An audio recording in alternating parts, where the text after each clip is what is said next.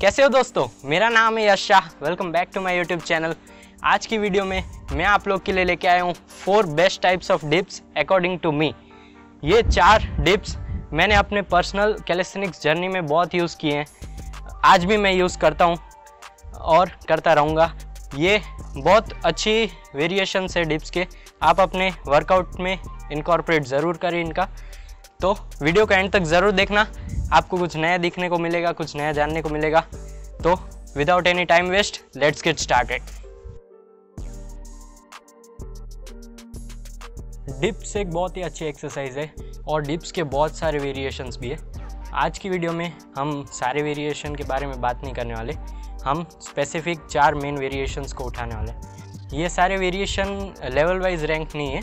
आ, मैंने ऐसे randomly rank किए हैं। चारों अपनी अपनी जगह बेस्ट है। तो फ़र्स्ट वेरिएशन है नॉर्मल डिप। तो नॉर्मल डिप आपको कई जगह पे हेल्प करने वाली है। आप डिप्स की कोई वेरिएशन सीख रहे हो तो आपको हर जगह नॉर्मल डिप तो आनी चाहिए। नॉर्मल डिप्स के बहुत सारे फ़ायदे हैं। आपकी ओवरऑल पुशिंग पे टारगेट करता है। आपकी ट्राइसेप चेस्ट शोल्डर्स आपका कोर स्ट्रेंथ अगर आप बिगिनर हो, आपको डिप नहीं आता तो आप रेजिस्टेंस बैंड का यूज़ करके आप डिप सीख सकते हो। रेजिस्टेंस बैंड का यूज़ करके आप डिप को थोड़ा इजी बना सकते हो। या आप डिप में मास्टर हो गए हो तो आप वेट ऐड कर सकते हो डिप में।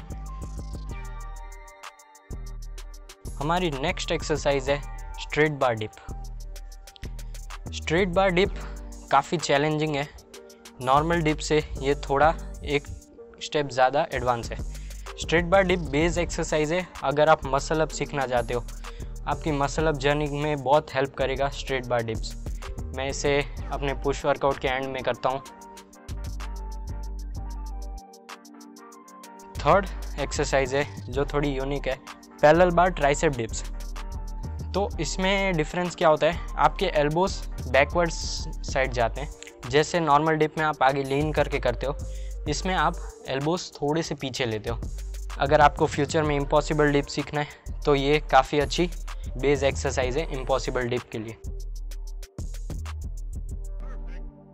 लास्ट एक्सरसाइज है रिंग डिप्स, जो मेरी फेवरेट है।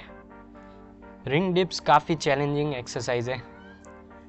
अगर आप नॉर्मल डिप्स तीस कर सकते हो तो आपको पंद्रह रिंग डिप्स भी हार्ड पड़ेंगे, क्योंकि इसमें आपके स्टेबलाइजर्स बहुत एक्टिव रहते हैं और ये आपके चेस्ट मसल पे ज़्यादा टारगेट करता है।